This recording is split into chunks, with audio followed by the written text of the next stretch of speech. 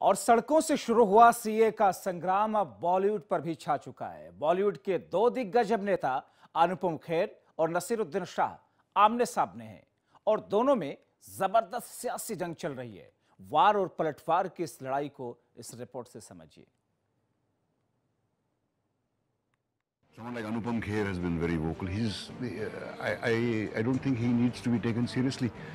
He is a clown. He, कटाक्ष सुना आपने अब जवाब भी सुनिए।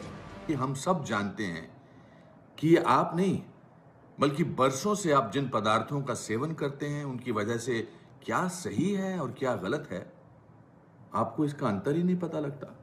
बॉलीवुड में इस जंग की जड़ सीए को लेकर है। शुरुआत तब हुई जब बॉलीवुड एक्टर नसीरुद्दीन शाह ने एक इंटरव्यू में अनुपम खेर पर निशाना साधा और उनकी सोच पर सवाल उठाए। सवाल कुछ इतने तीखे हो गए कि नसीरुद्दीन शाह ने अनुपम खेर को जोकर तक कह दिया someone like Anupam Kher has been very vocal. He's, uh, I, I, I don't think he needs to be taken seriously.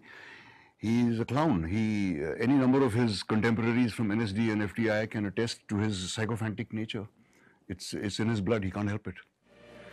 दरअसल अनुपम खेर तो सिर्फ़ बहाना थे। असल में नसीरुद्दीन शाह के निशाने पर वो सभी लोग थे जो सीए और एनआरसी के सपोर्ट में बोल रहे हैं।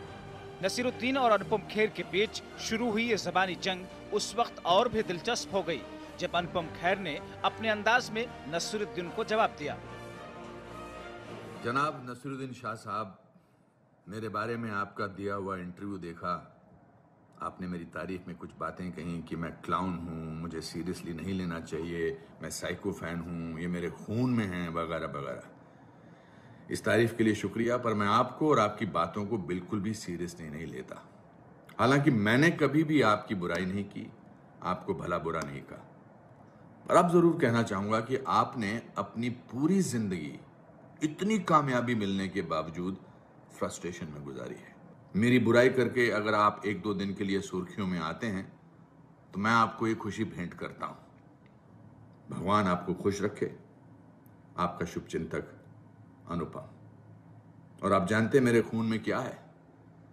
मेरे खून में है हिंदुस्तान। सीए को लेकर सड़कों से शुरू हुआ घमासान। अब बॉलीवुड में सितारों के सिर चढ़कर बोल रहा है। विचारों में मतभेदों के बीच बॉलीवुड दो अलग अलग खेमों में टूटता हुआ नज़र आ रहा है, लेकिन इन दोनों खेमों की लड़ाई का असर देश भर पर पड़ता दिख रहा है। Bureau report, R nine TV, Uttar Pradesh, Uttarakhand.